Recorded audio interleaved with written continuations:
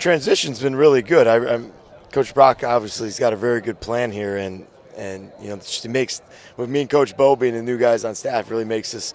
You know, we, we kind of got right into it right away. I mean, we got here right before spring ball started, right at the end of winter conditioning. So, you know, it's kind of been a sprint since we've been here. But you know, the transition's been really good.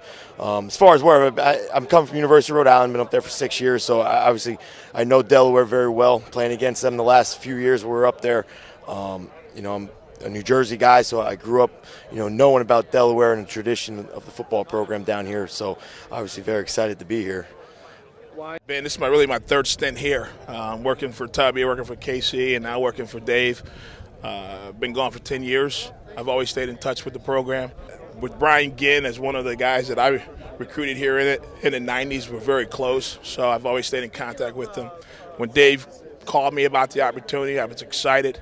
For me, it you know it's a win-win. I have a lot of love and respect for the football program and uh, try to do, as I told Dave, I'll do whatever I can do possibly to get this place back on top. The people, I, I think, you know, the tradition and, and, the history of Delaware football, and and obviously um, having played against, knowing knowing the, the talent that we have here. Um, it really was a no-brainer for me and my family to make the move down here. And you know, you know, knowing Coach Brock, I never really had the opportunity to really meet Coach Brock before I came down here, but I've known a lot of people who've who've known him real well, and and, and just just his whole approach to what he's trying to get done here really sold me on the place. I, I told him before, if you can't enjoy Delaware, there's something wrong with your DNA. Uh, it's a great place.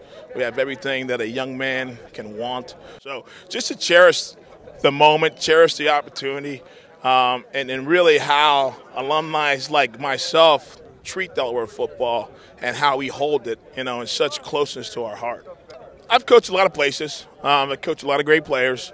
Um, I think that helps me from a credibility point of view of, of guys that I've coached, of guys that I've sent to the NFL. Um, I stress just the finer points, attention to detail, those type of things. And, you know, I'm different than Ginn, you know, uh, and they know that. There's a lot of ways to, to, to, get things done. For me to get it done my way, I have to do it the way that, that I like doing it physical and aggressive. That's what we're looking for. I mean, our tight ends right now, we have a good group of, of three older guys who, who are, are big physical, you know, human beings who, who are going to be able to do a lot for offense. And from a special team standpoint, we're going to be an aggressive, attacking style special teams unit. I mean, that, that that's what I want Delaware special teams to be, and and I think I think we're going to see it here in, in September when games roll around.